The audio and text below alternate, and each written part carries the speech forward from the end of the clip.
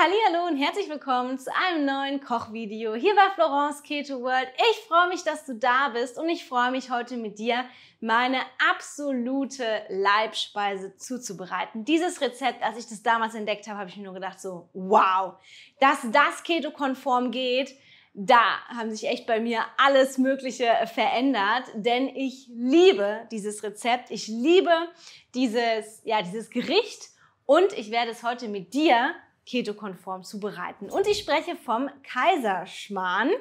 Kaiserschmarrn ist einfach nur so lecker. Es ist einfach so fluffig, so richtig schön vanillig. Boah, Kaiserschmarrn, da könnte ich mich reinsetzen.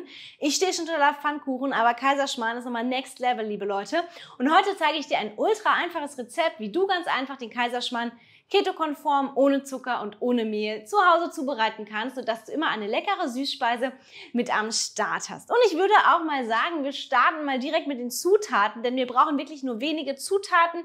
Wir brauchen Eier, wir brauchen gemahlene Nüsse nach Wahl. Ich habe hier Walnüsse genommen, man kann aber auch Mandeln nehmen oder Mandelmehl. Dann brauchen wir etwas Zimt, Mandelmilch und eine Süße nach Wahl. Ich habe mich hier für einen ähm, Coffee Creamer entschieden. Sweet Cream heißt der mit MCT und Fettsäuren drin. Ihr könnt aber auch einfach Erythrit nehmen oder nehmt ein Vanilleproteinpulver oder was auch immer euch schmeckt. Und diese Zutat habe ich jetzt tatsächlich nicht da, die kann ich euch aber auch nur ins Herz legen. Und die habe ich auch in die Videobeschreibung reingeschrieben. Das sind Flohsamenschalen, dass ihr davon auch ein bisschen was reinmacht, weil das macht das Ganze ultra, ultra fluffig. Deswegen, ähm, die habe ich hier in Spanien nicht gefunden. Deswegen ähm, die auf jeden Fall auf keinen Fall vergessen. Und wenn du auch Lust hast, mehr solche einfachen, unkomplizierten und vor allem auch ausgefallenen oder außergewöhnlichen Rezepte zu entdecken, dann kannst du gerne auch einfach, einfach mal bei meinen E-Books vorbeischauen. Ich habe fünf E-Books geschrieben mit verschiedenen süßen, salzigen ähm, Rezepten. Frühstück, Mittag, Abendessen, Kuchen, Kekse, alles, was das Herz begehrt. Schau da gerne mal in der Videobeschreibung vorbei, da findest du ein paar Rezepte. Aber ich will nicht gar nicht groß rumherum reden, denn ich möchte direkt loslegen, weil ich habe nämlich Lust auf Kaiserschmarrn. Und deswegen starten wir mal direkt. Und heute mache ich mir tatsächlich mal die Mühe, weil ich keine Flohsamenschalen habe, werde ich die Eier trennen und ähm, das Eiweiß äh, schaumig schlagen. Ähm, denn das, liebe Leute, macht das Ganze auch nochmal ein bisschen fluffiger. Das kann ich euch so oder so ans Herz legen, auch wenn ihr noch Flohsamenschalen zusätzlich reinmacht. Oh mein Gott, dann wird das ein absolut fluffiger Traum. Also das Ei trennen ist immer nicht so einfach, ja. Uh, genau, zack. Und dann gebe ich auch schon mal das Eigelb einfach hier in meine Nüsse rein. Da habe ich immer so ein bisschen Stress, wenn ich die Eier trennen muss. Uh, gar nicht so einfach. So. Und jetzt schlagen wir das Ganze mal zu einem Schnee, Eischnee. Ich habe hier so einen coolen Handmixer.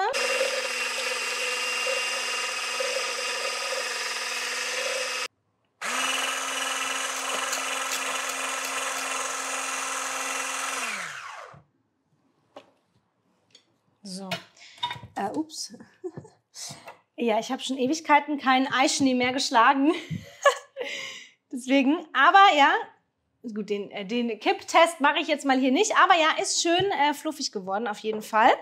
Sehr, sehr cool. Und äh, jetzt verrühre ich hier nochmal das Eigelb mit, dem, mit den Nüssen. Einfach, dass wir einen schönen sämigen Teig haben. Auch hier kann man natürlich das Handrührgerät ähm, zur Hand nehmen, wenn man gerne möchte. Ich mache das jetzt einfach mal so.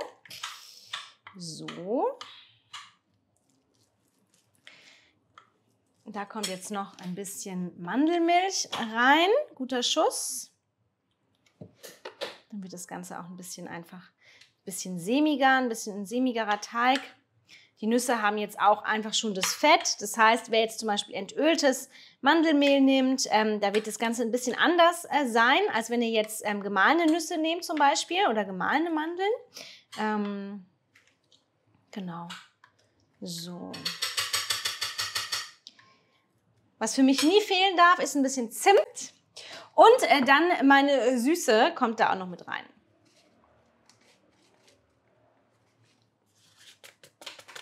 So. Und alles gut verrühren. Jetzt würde man hier dann noch ein bisschen die Flohsamenschalen reinmachen. Also man braucht da wirklich nur so einen Teelöffel, also wirklich nicht zu viel, weil sonst wird das Ganze ein bisschen schleimig. Aber wenn ihr jetzt Flohsamenschalen, gemahlene Flohsamenschalen zu Hause habt, dann unbedingt auch hier einen Teelöffel reinpacken. So, und jetzt vermengen wir dann, jetzt haben wir hier schon mal einen schönen Teig, das Eiweiß noch mit den restlichen Zutaten. Heben wir das mal ein bisschen unter. Aha, ist schön fluffig geworden. Deshalb erhöht jetzt gleich nochmal das Volumen von dem Teig. So. Das Coole an diesem Kaiserschmarrn-Rezept ist einfach, dass es eigentlich Zutaten sind, die man auch immer zu Hause hat. Das heißt, ihr könnt das auch nach Belieben variieren. Ihr könnt vielleicht andere Nüsse verwenden. Ihr könnt auch ähm, einfach ähm, andere Sachen mit reinmachen, zum Beispiel auch ein paar Beeren oder Kokos zum Beispiel. So ein Kokoskaiserschmarrn ist auch ultra lecker. Oder noch ein bisschen Vanille oder was auch immer ihr so zu Hause noch findet. Und jetzt haben wir hier wirklich schon einen richtig guten, richtig fluffigen Teig. So muss es sein. Vorsichtig unterheben. Richtig schön locker, wirft schon schön Blasen. Das ist super, weil dann wird das Ganze richtig, richtig fluffig. Und den backen wir jetzt aus. So, Pfanne an. Hier macht man jetzt einfach Fett nach Wahl rein, also was man eben möchte. Ähm, Kokosöl, Butter zum Beispiel, was auch immer. Am besten geschmacksneutrales Öl.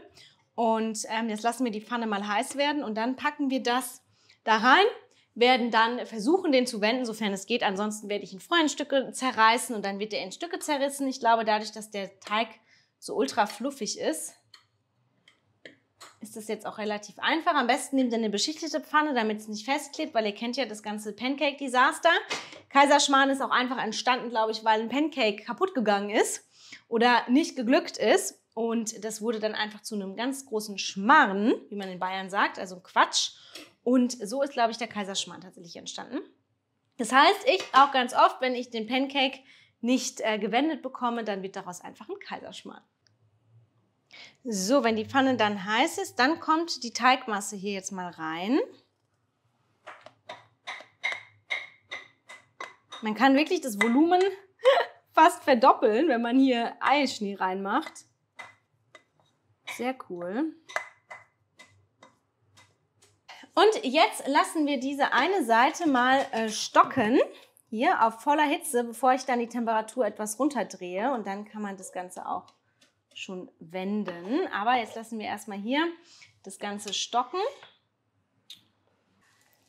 So, ich habe jetzt eben schon unten geguckt. Es ist schon auf jeden Fall unten ähm, recht braun angebräunt. Jetzt werde ich mal probieren, das zu wenden. Ansonsten, wenn ihr euch schwer tut, könnt ihr den auch einfach in der Mitte schon mal durchschneiden, weil wir werden den ja sowieso ähm, zerkleinern dann. Und dann könnt ihr nämlich immer die Hälften wenden. Das ist manchmal deutlich einfacher, als alles zu wenden. Okay, in dem Fall werden es jetzt Viertel.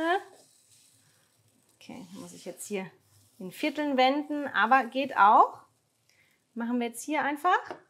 Ich viertel den jetzt, weil eben dadurch, dass der so fluffig ist, lässt er sich natürlich nicht ganz so einfach wenden. Aber wir lassen, es ist ja wichtig, dass der einfach von allen Seiten ein bisschen angebraten wird. Deswegen könnt ihr ihn auch schon so ein bisschen zerkleinern. Und es riecht schon richtig, richtig lecker.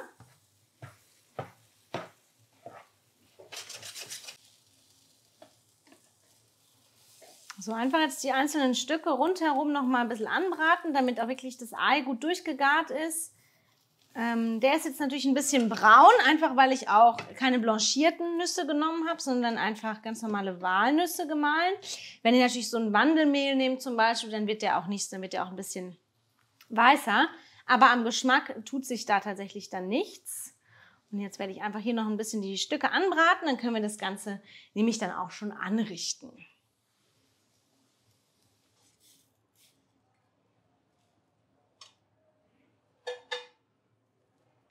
Äh, so, ich habe den Kaiserschmarrn jetzt hier fertig angerichtet und ich werde jetzt so ein bisschen dunkle Schokoladenstückchen da einfach nochmal oben drauf machen. Und dann kommt noch ein bisschen Zimt oben drauf. Wer will, kann natürlich auch ein bisschen Pudererythrit oben drüber machen. Jetzt die Schokolade, die schmilzt jetzt so richtig schön. Wenn ihr jetzt, wie gesagt, noch Flohsamenschalen zusätzlich drin habt, dann ist das Ganze auf jeden Fall deutlich, deutlich äh, fluffiger. Ähm, und dann ist es richtig, richtig, richtig, richtig perfekt von der Konsistenz. Aber nichtsdestotrotz, ein bisschen Zimt kommt noch oben drauf, habe ich gesagt, genau. Mache ich jetzt noch einen Geschmackstest. Damit ihr nämlich auch seht, ob der denn auch so gut schmeckt, wie er riecht. Und da werde ich jetzt mal hier ein Stückchen probieren.